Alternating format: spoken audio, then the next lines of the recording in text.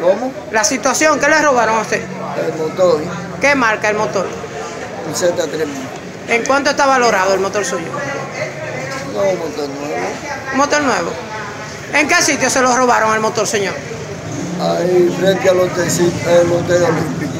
¿Usted estaba en el hotel a la hora que se lo llevaron? No, yo iba a entrar y yo iba era para pedir, eh, para dormir, para ya amaneciera ahí, entonces me salieron los soldados y, me quitaron el control.